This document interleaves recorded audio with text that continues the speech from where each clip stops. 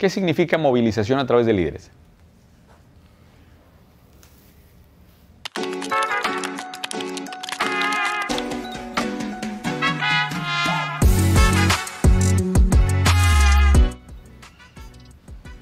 Cualquiera, el que quiera opinar. responsabilidades a cada área de negocio, ¿no? Vas a tener una idea clara de lo que tienes que hacer, ¿sí? Y vas a depender de quiénes son las cabezas que están haciendo ese trabajo. Es muy sencillo evaluar, para mí es bien transparente, cuando llegas a una organización, te puedo casi pronosticar con un 99% de efectividad qué organización la veo exitosa en cinco años qué organización la veo jodida en cinco años. Y, depende estrictamente de la densidad de talento que hay en la primera capa de liderazgo. Estrictamente. Para mí ese ha sido un problema en, el club porque prácticamente soy yo solo, eh, mi community manager y mi diseñador. Y eh, también doy clases en el Tech Milenio y he querido llevar este becarios para darles un área, es el área de los abonados, el área de merchandising y otras cosas como tenemos una academia de alto rendimiento para los niños que van iniciando, ¿no?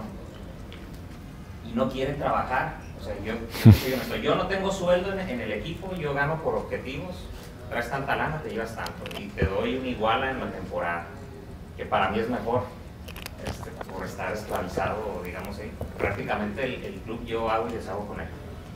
Entonces llegan ellos, y oye, vas a hacer esto, los motivas, este, tenemos tanto volumen económico, te vas a llevar esto.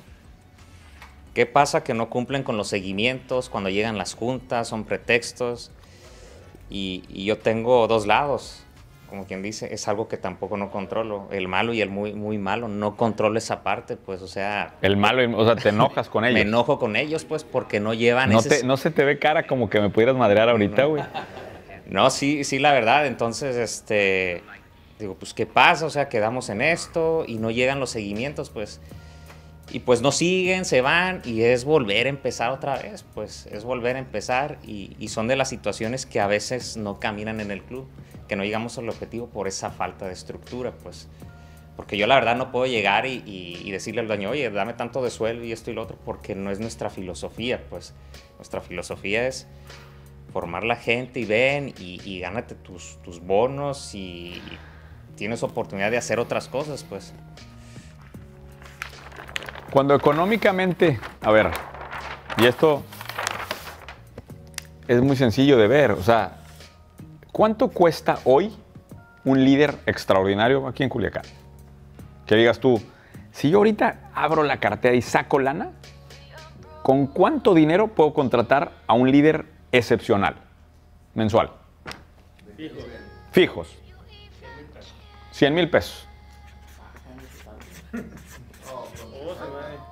Bueno, ¿Eh?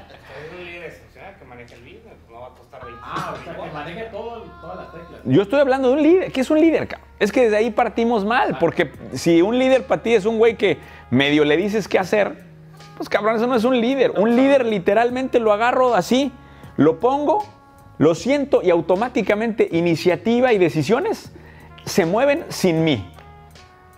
¿Sí? Así de fácil, ¿eh? yo lo agarro, lo pongo, lo siento, ¡fum! Fuego. No tengo para pagar 100 mil, es lo que estás diciendo tú. Tengo para pagar. Y obviamente entre más vas bajando esto, más cuesta arriba se vuelve. Tengo que pagar 75. Ah, ok, pues vamos a ver. Tengo que pagar 25, pero tú dices quiero cero y quiero este nivel de calidad de talento, cabrón. Entonces, cuando tienes ese modelo de negocio en contra tuya, que todos lo sufrimos en diferentes escalas y en diferentes posiciones, ¿qué sucede?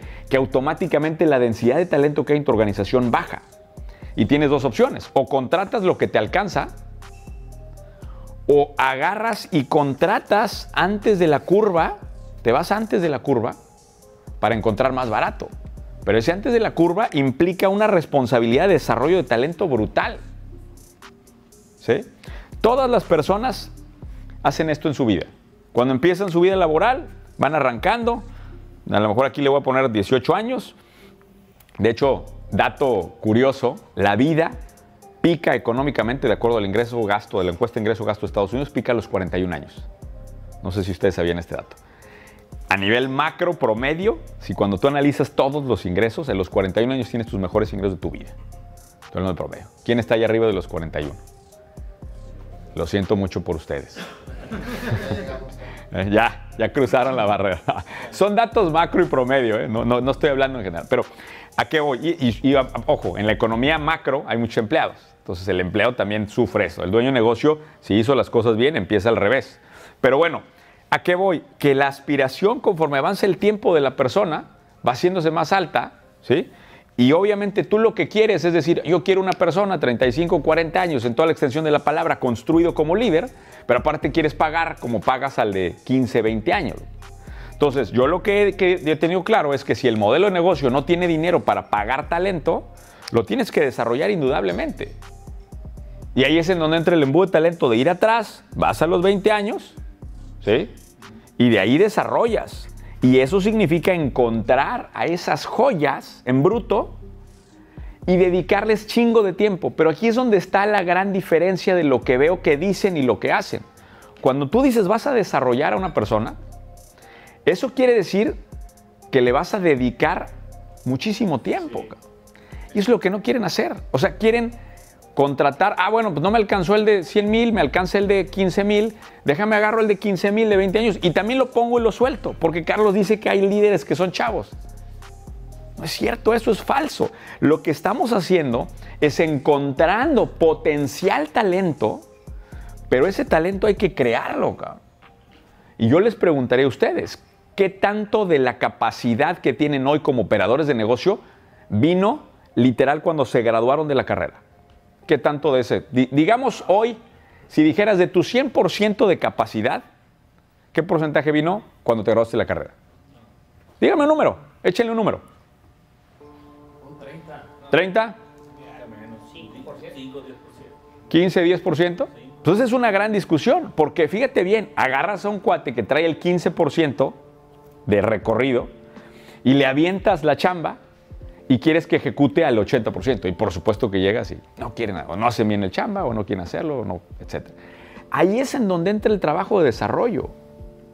Y el trabajo de desarrollo es un mega trabajo. Aquí es donde viene el siguiente rol del CEO.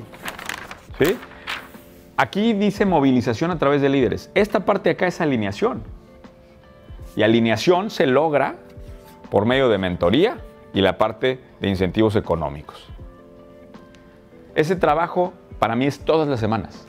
Yo me siento todas las semanas. Ayer tuve una sesión 8 y media de la noche porque no me había dado, como viajaba esta semana, no había podido tener en agenda tiempo. Ahí en la noche estuvimos trabajando, clase, literal, ahí estuvimos, desarrollo. Pero ese es el tiempo que la gente no quiere dar.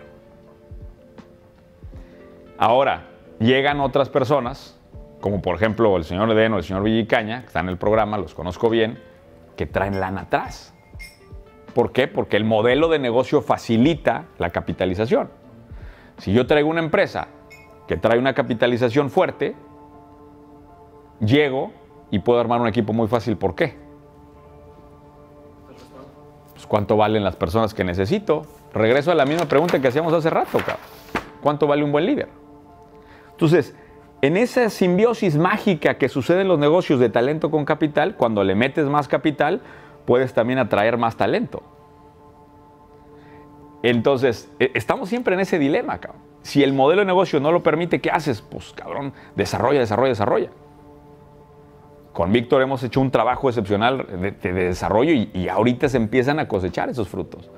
Que él se mueve totalmente autónomo.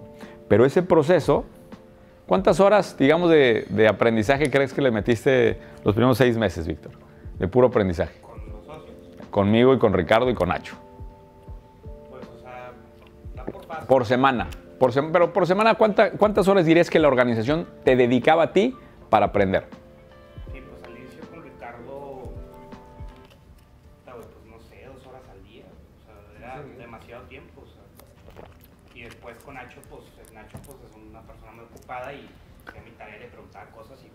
Carlos es lo mismo, ¿no? O sea, oye, temas muy puntuales, ¿no? Pero pues sí, hay una chamba que tienen que estar ahí Y el pedo pues siempre es, oye, pues es que en qué momento hago eso. O sea, estoy operando, entiendo en qué momento desarrollo talento, pero en mi experiencia esa es la labor más importante que, que tienen ustedes. O sea, es meter dinero a la empresa y desarrollar talento. Yo creo Pero que- ojo, ojo, aquí se vale. Aquí se vale ir del otro lado, ¿eh? Porque aquí otra de las responsabilidades del dueño es traer lana a la mesa. Si yo tuviera cartera infinita, pues llego y suelto y armo. En- ahorita se fue Javier, pero ahorita le preguntamos en cuánto tiempo armó el APSA. Ya estás. ¿En cuánto tiempo armaste el equipo nuevo? En cuatro meses. Con, pero, Te- Tengo 15 años haciendo lo mismo. sí, sí. Pero ¿cuántos sueldos, o sea, te hubiera tardado en desarrollar? ¿Cuántos sueldos tienes que pagar ahorita para poder armar el equipo? E- Entonces, este, este es un dilema todo el tiempo. Ahora, la pregunta que tiene que hacerse el dueño de negocio es si los líderes que tienen la primer línea están realmente movilizando la dirección estratégica que quiere la compañía. Porque en el momento que la movilización de la dirección estratégica sea específicamente el dueño, entonces ya valimos madre. Porque si el dueño no se mueve, ¿qué pasa con la empresa? La empresa no se mueve. Te vuelves el cuello de botella, te vuelves la problemática, te vuelves el mismo freno de la organización. Entonces, definiste la dirección estratégica y dijiste quiénes son los líderes que me van a movilizar.